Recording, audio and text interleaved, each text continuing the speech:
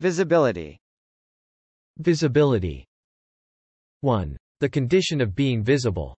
2. The degree to which things may be seen. 3. The scope within which a variable or function is able to be accessed directly. Visibility